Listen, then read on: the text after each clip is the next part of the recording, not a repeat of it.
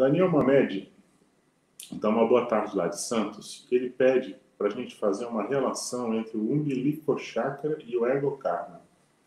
O quanto que o emprego lúcido desse chakra pode ajudar a consciência a ser menos egocentrada. Então, assim, Daniel, o umbilico chakra é, é esse chakra que fica situado aí uns três dedos acima do umbigo, mais ou menos, né? E ele tem muita relação com o subcérebro abdominal, com os guts, né? com os intestinos, com né, toda a parte mais instintiva né, da consciência. Isso é estudado desde longa data, né, não é só da conscienciologia. Muitas linhas de conhecimento também trazem essa ideia de que você, você tem o plexo né, é, solar, né, uhum. é, que fica nessa região. Só que assim, é, o que eu quero chamar a atenção, que é o que você chama, é quanto emprego lúcido. Então, só para entender, né? Quando o bilicochakra a gente vê essa relação instintiva e, e aborda o ego karma sobre esse ponto de vista mais egóico, não há dúvida, há uma relação direta entre o bilicochakra e o ego karma. É meio evidente essa relação. Agora, o quanto que esse emprego lúcido né, desse chakra pode ajudar a consciência menos centrada? Eu acho que todo chakra é, que você aprende a usar de forma mais lúcida, em prol da interassistência, em prol da ajuda, é, isso faz com que você naturalmente é, fique menos egocentrado, né?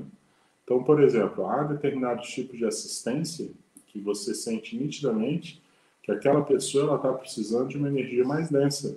É, então, você exterioriza a energia exatamente pelo umbilical chakra. Às vezes você acabou de comer uma refeição, mas você tem a sensação de que você está com o estômago vazio de tanta doação de energia que você fez através do umbilical chakra para uma determinada pessoa.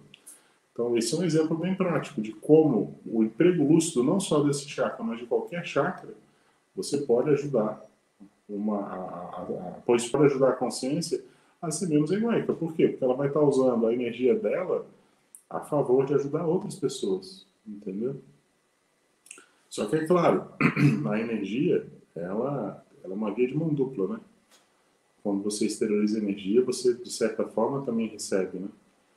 Então, é, a gente tenta trabalhar com chakras é, mais superiores, sempre que possível, né?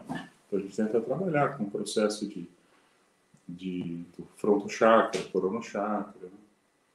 mas depende da pessoa, depende da condição, da assistência que está sendo feita sexo-chakra, às vezes é necessário, às vezes é as plantochakras, você vai jogar energia bem telúrica, né, energia da terra em cima da pessoa, tá no TENEP, você joga energia pelo, pelos plantochakras, às vezes em cima da consciência, para equilibrar ela. Ela não passou ainda pela segunda de sono, você vai jogar energia pelo plantochakra para ajudar a consciência a passar pela segunda de sono.